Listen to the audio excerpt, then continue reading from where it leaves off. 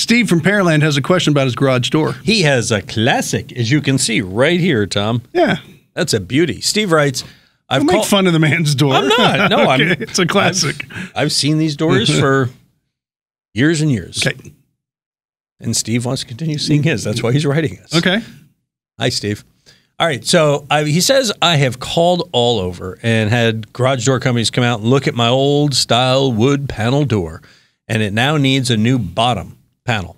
But no one here says that they have them any longer, or so I'm told. It says, Tom, Steve wants your suggestions. Can it be saved, or is he looking at a retrofit? You might need a new door. Uh, one of the things I'd be careful is there's a lot of upsell in the garage door business. So I would like him to call one person. It won't cost any money for them to come out and take a look.